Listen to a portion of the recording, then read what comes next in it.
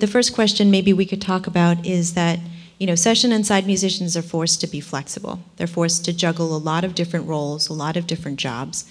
Uh, can you talk a little bit about how each of your personal pie charts have changed over the decades and, uh, and what stayed the same?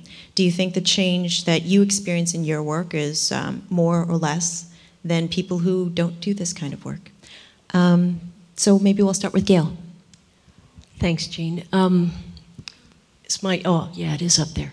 Um, I would have to look back. I've been with the city, New York City Opera for almost 20 years. And I would say basically my pie chart has been that for about 20 years, but that company is undergoing what many um, nonprofit performing arts organizations are undergoing, and that's like a major upheaval and possibly demise. So, um, in a year from now, my chart is going to look like really different. The freelance performance portion of my income is going to become a much greater um, part of my income.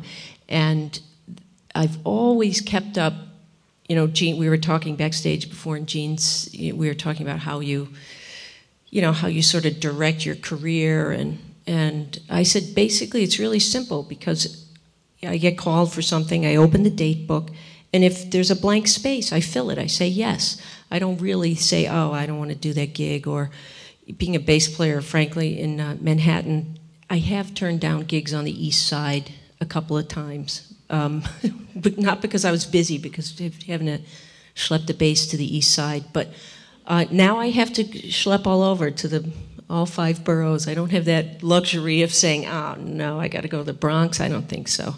Um, so my chart is gonna is gonna be a lot more strictly like freelance. My freelance orchestras, any touring gigs. I did a, a two-year sort of off and on tour with Philip Glass um, a year ago, and uh, I'll be open to a lot more that that kind of thing. And fortunately, I um, still get called because I've always sort of maintained my freelance work in addition to my institutional work, which has been the City Opera and the New York City Ballet subbing, which I'm really grateful for. Dave? Um, thanks, Jean. Um, yeah, I moved to Nashville in 1977.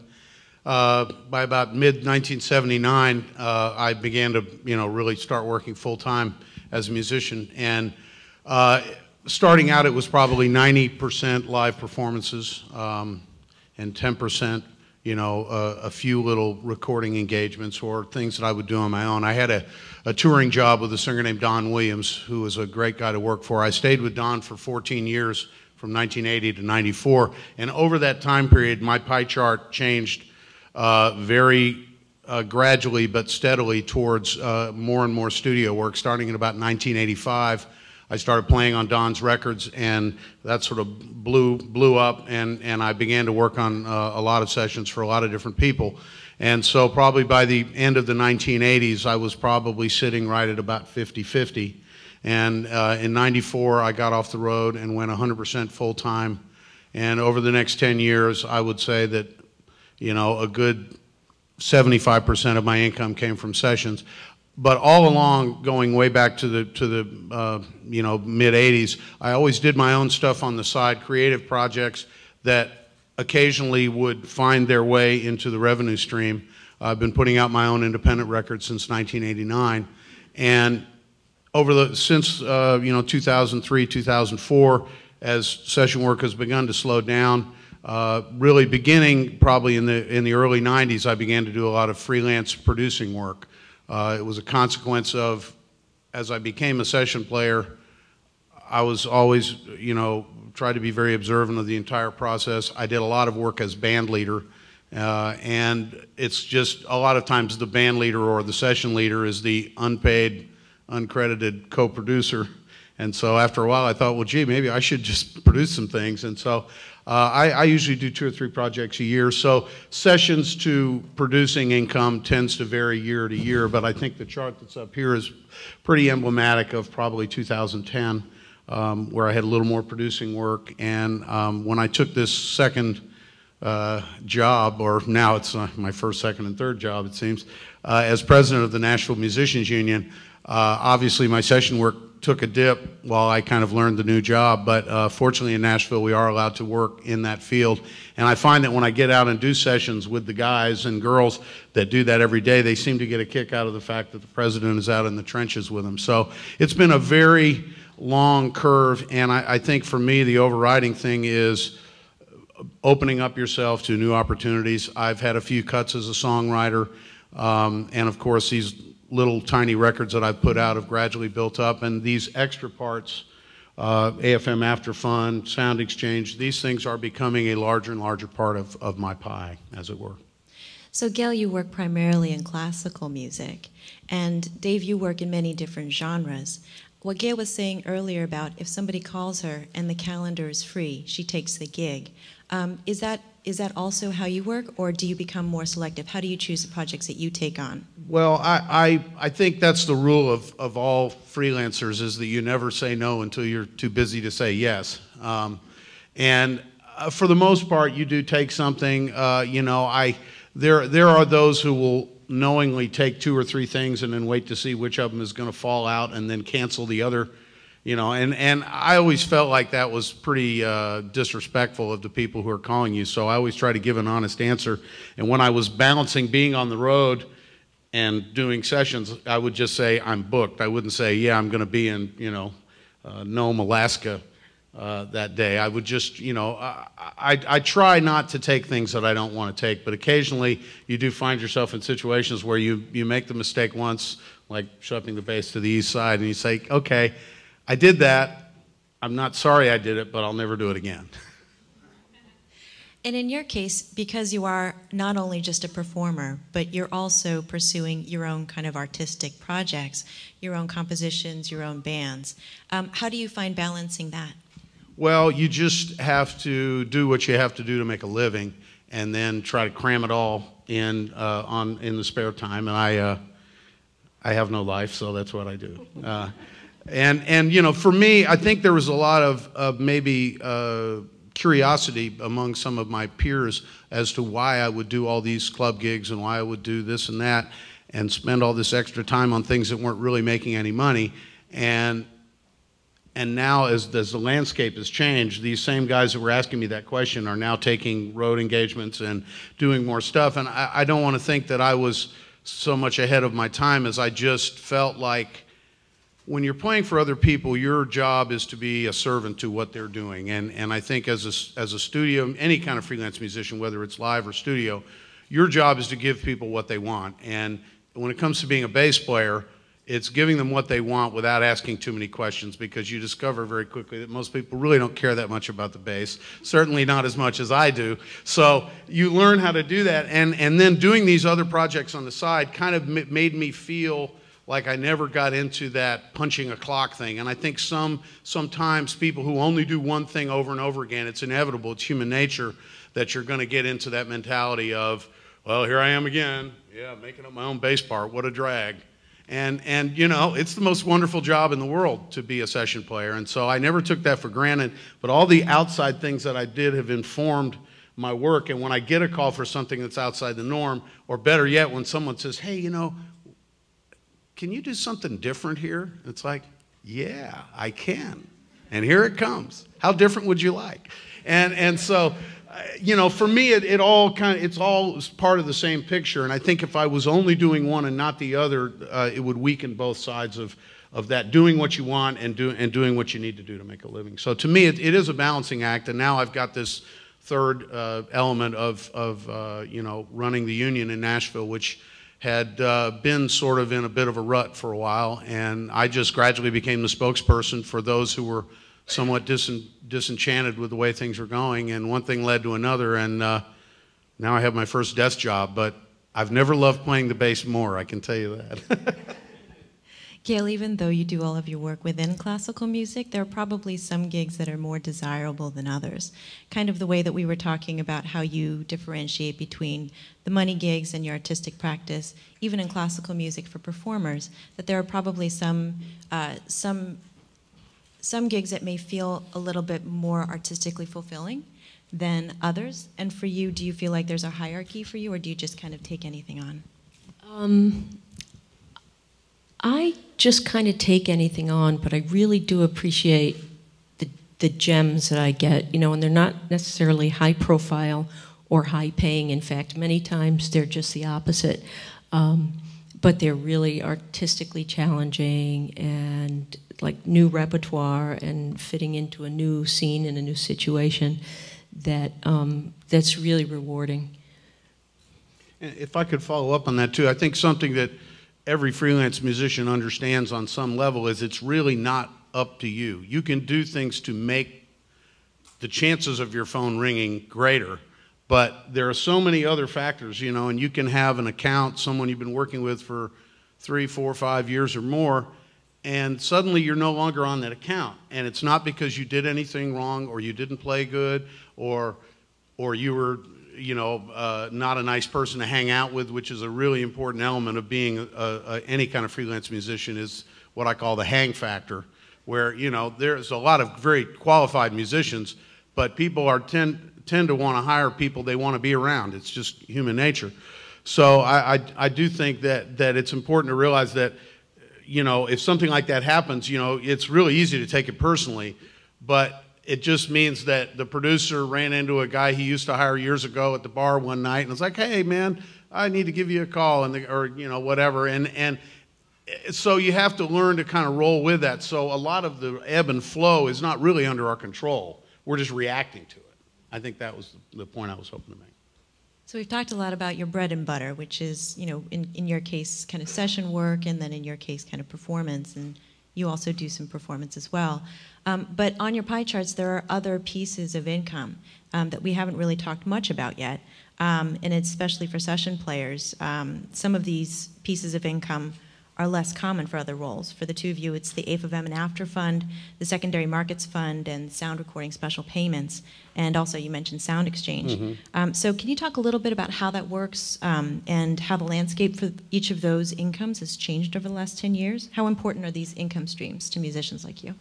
Well, I think they're more important every day. And every year, that portion has been growing and a lot of it is, as we heard in the previous panel, is, you know, as an independent artist, it's taking care of business, making sure that they've got all your information at SoundExchange. Things that, um, you know, just making sure that you did get the proper credit for a particular session you played on, um, you know, and sometimes, you know, and also it ties into that whole metadata, um, you know, direction that things are hopefully heading. But in the meantime, you really have to look out for yourself.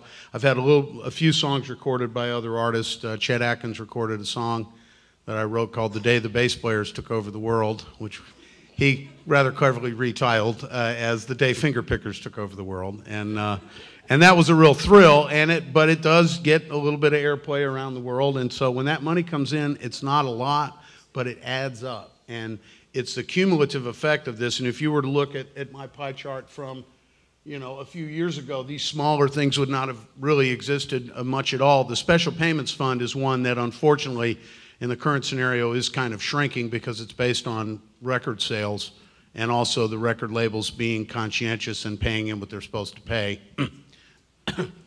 and uh, sometimes they do that. Uh, so I think, you know, and, and, and one of the things that uh, with Bruce Fife, we're part of the AFM national leadership team, and one of the things that we're working on is trying to make sure that compliance is good, but there's also an element of the Special Payments Fund, which for those of you who don't know, if you play, if you do a recording session in a certain year, you get credit for that session in this fund, which is paid into by the record labels. Unfortunately, you're not tied to a particular record. So if you did a certain number of sessions for an album that wasn't released, and then you did a certain number of sessions for a Garth Brooks album, your royalty payment would be would be identical. It, it, it really it, it, comes from the amount of work you've done in a five-year window that moves forward every year, and and so we're looking at ways to kind of reinvigorate that. And part of that fund was the Music Performance Trust Fund, now called the Music Performance Fund, which was designed back in the day when they were sure that record sales were going to destroy live music, which obviously hasn't happened. Um, that was set up as a way to, to ensure that musicians would be able to do these shows, which are, you know, co-sponsored by this fund. And of course, the fund is also shrinking, and we're looking at ways to increase this again because that's when musicians get out in the community, play in nursing homes, hospitals, And, you know, a sense of community is, is so important to any city, any group of, of creative people. And so uh, the Special Payments Fund is, is uh, getting smaller, but it's still a very significant thing. And of course, musicians who play on films have a very different structure where they do actually get attached to that particular movie. So the 80 musicians that played on Titanic are sharing 1% of those profits. And so these things cannot be ignored, and it's all the more important to get the paperwork done correctly the first time because I can tell you many horror stories of films film soundtracks that were done under false pretenses where they were sort of pretending that they were records that happened to magically fit this movie and therefore were not connecting that movie to the film secondary markets fund. Uh, a certain famous producers come to Nashville quite a bit to do some of these, and the first one, uh, you know, paid very well on the front end, but nothing on the back end. And the second film, we were able to make sure that it was in fact filed as a movie, and the guys who played on the soundtrack to Walk the Line have made about $100,000 a piece on the back end out of that 1%. So there's your pie. but you got to do it right, and a lot of it is keeping people accountable. You know, Harvey Weinstein isn't happy with 99% of the money. He wants 100%. And so we'll work on Mr. Weinstein and see if we can squeeze that 1% out of him. Did I say that? Sorry, Harvey. Coming to get you. So both of you have been doing this for a very long time. Um, what are some of the lessons you've learned over the last 30 years or so? Like if you were to meet yourself like 30 years ago and be like, you're about to go into this business, here are some things that I kind of wish that I'd known, you know, when I was 30 years ago. And, and um, kind of what advice would you give yourself? Wow. Um, I don't think I would do anything differently as like crazy as that might sound, carrying a bass around, not owning a car, up and down stairs in all kinds of situations. I wouldn't do it differently. I've loved what I've done and you know what I would you know if if I was wavering at all about whether I could actually do it and how to make a life in music, I would just say just do it. Just go for it. Just do what you do. Just find your like minded people, people you want to play with, people that um, want to play and want to further the craft of, of uh, instrumental music and just give it give it your all. I mean, I think that's that's pretty much um, what I would say, and that's pretty much what I've tried to do. That's I, I, I feel similar in that you, you know, so many things have happened to me through just the sequential evolution of events and, and one door that opens that, you know, I never, when I moved to Nashville, all I really thought about was I want to be in a band. I want to be a band that, pe- that people know, that people like, that people will pay to see. And I hadn't really thought it through much further than that, other than I knew I didn't want to get a real job. And, and so when I made the transition very gradually over a period of time, which I'm grateful for, to being a session player and then being a total freelance, uh, all of those things happen in ways. I mean, I've had uh, so many of my dreams have already come true. I feel like that really anything good that happens from this point onwards is kind of gravy. But if I had to do one thing differently, I would have written more songs. I think that song, you know, Nashville is a very song oriented town. I've had a few cuts, but you know, you can write one song friend of mine wrote a song called Tulsa Time in 20 minutes in a hotel room in Tulsa. And it was recorded by Don Williams and recorded by Eric Clapton twice. And that's a pretty good 20 minutes. Uh, so I, I, wish, you know, I, I, tend to write when I have a reason to write. I'm making a new solo record. I'm producing somebody who really needs an up-tempo song that isn't a man basher, and I can help with that. So, you know, I tend to write from a goal-oriented uh, standpoint. But I think that is that's really the only thing that that I would have done differently was maybe just cultivated a few more songwriting relationships. But also, I think along the lines of what Gail said, the thing that I'm most grateful for is that I did learn to listen to my inner voice that said, hey, you ought to make a solo record with all basses doing nothing else, no other instruments, all basses. That sounds like a good idea. And I'm like, shut up, what do you mean? And, and in the end, I did those things, and I didn't even always know why I was doing them, other than I was just motivated to try something different, to try to make a, a mark somewhere. And if when you hear that voice, you have to listen because if you don't listen to that voice, it will go away. And I've seen far too many people that that didn't trust that. And you know, if you can't trust your gut, other than when you've had a bad meal, uh, you know, who, who are you going to trust? So I think it's really important to absorb all this information, look at your environment, try to get yourself to a place where what you do could be in demand. Some of the things that I was doing on the bass in Nashville, if I'd done them in New York City, I'm not sure anybody would have cared or it would have been thought of as anything innovative or new. But in my environment, they were like, wow, man, we've never heard anything like that before. Did you invent that? it's like, well, no, no. That would have been Milt Hinton 80 years ago. so you just, I think it's just following your heart and really, uh, you know, listen because so many things have happened to me. I've found myself in so, so many unbelievable situations. And if I had not listened to my voice that said, buy that weird electric upright bass in, the, in 1981 when people looked at you like you were from Mars when I pulled this thing out and stuck it up on a stand. And then I, you know, about seven years later, I played on a record that had a prominent moment where that bass did its thing. And next thing I knew, my phone was ringing off the hook. But I never could have predicted that. So you just, you have to listen to your soul and listen to what's inside. And that'll be the last word. Please give our discussants a warm thank you. Well done.